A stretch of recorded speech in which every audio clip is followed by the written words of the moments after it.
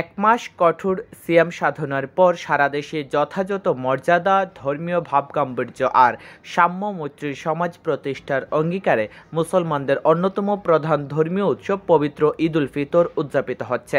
সিলেটে সকাল সাড়ে আটটায় ঈদুল ফিতরের প্রধান জামাত অনুষ্ঠিত হয় ঐতিহাসিক শাহিদগা ময়দানে।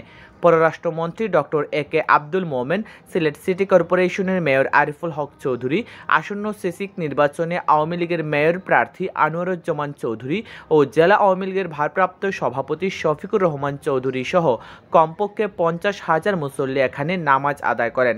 এছাড়াও হজরত শাহজালাল রহমতুল্লাহি আলাহির দরগা সহ মহানগরী ও জেলার বিভিন্ন এলাকায় ঈদগাহ ও মসজিদে ঈদুল ফিতরের নামাজ আদায় করা হয়।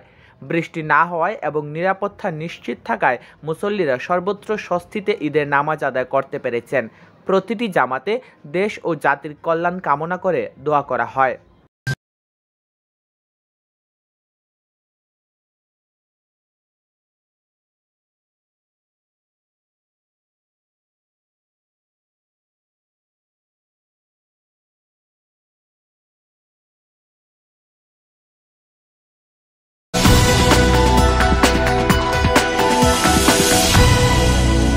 হবিগঞ্জে পবিত্র ঈদুল ফিতরের প্রধান জামাত সকাল সাড়ে সাতটায় কেন্দ্রীয় ঈদগাহ ময়দানে অনুষ্ঠিত হয়।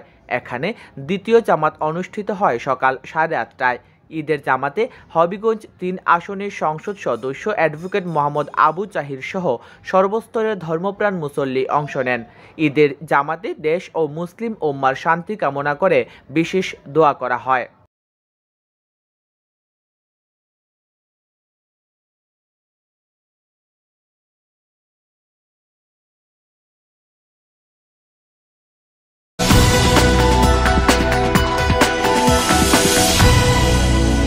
মৌলভীবাজারে হজরত সৈয়দ শাহ মুস্তাফা পৌর ঈদগাহ ময়দানে প্রায় পঁয়ত্রিশ হাজার মুসল্লির অংশগ্রহণে ঈদুল ফিতরের প্রধান জামাত অনুষ্ঠিত হয়।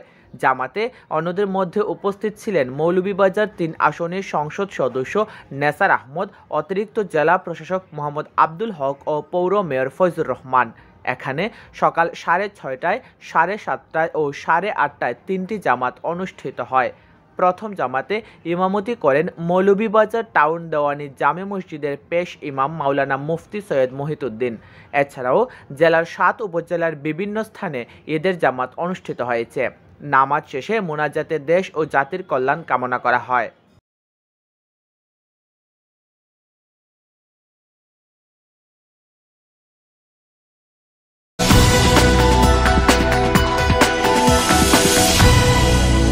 হবিগঞ্জের মাধবপুরে যথাযোগ্য মর্যাদায় পবিত্র ঈদুল ফিতর উদযাপিত হচ্ছে।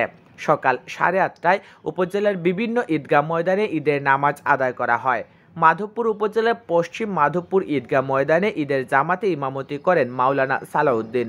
এখানে ঈদের নামাজ আদায় করেন পৌর মেয়র হাবিবুর রহমান মানিক। আদাওই ইউনিয়নের হালুয়াপাড়া গোপালপুর ঈদগাহ ময়দানেও শত শত ধর্মপ্রাণ মুসলিম ঈদের নামাজ আদায় করেন।